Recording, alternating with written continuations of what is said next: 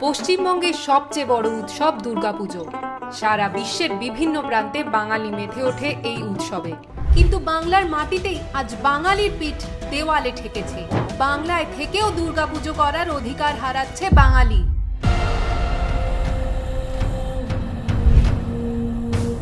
Vote ব্যাংকের লোভে রানীর রাজ্যে প্রাধান্য পাচ্ছে শুধুই সংখ্যালঘুরা। হিজাব পরে নমাজ পড়ছে রাজ্যের মুখ্যমন্ত্রী।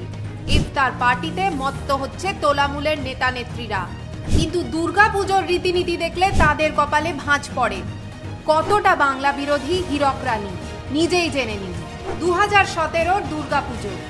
বিজয়া দশমীতে দেবী দুর্গার বিসর্জন। নিষেধাজ্ঞা জারি করে হীরক রানী। বিজয়া দশমীর পরের দিনই ছিল মহরম। মহরম যাত্রা যাতে নির্বিঘ্নে সম্পন্ন হয়, তাই বিজয়া দশমীর তিথিতে মায়ের নিরঞ্জনের বাধা দেয় হীরক রানী।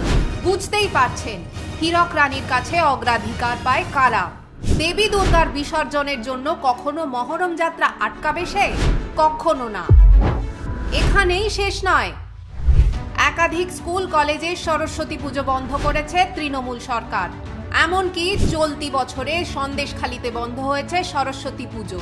শেখ শাহজাহানকে নিয়ে ধুমধুমার পরিস্থিতি সেই সময়। আর সেই শেখকেই আড়াল করার জন্য তারা সরস্বতী পুজো হতে দেয়নি সন্দেশখালিতে বরাবরই সংখ্যালঘুর ভোট পেতে নিজের ধর্মকে অপমান করে এসেছে হীরক রানী। বাইশে জানুয়ারি সারা দেশ যখন রাম মন্দিরের জন্য উদযাপন করছে সেই সময় তৃণমূল রাম মন্দিরের নিন্দে মেতেছিল রাম মন্দিরের জন্য দীর্ঘ সময় ধরে অপেক্ষা করেছিল গোটা দেশের মানুষ।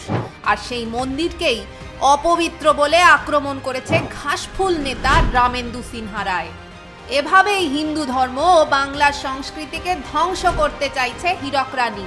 কিন্তু অধর্মের ইতি হবেই। হীরক রানীকে মানুষ বিদায় জানাবেই।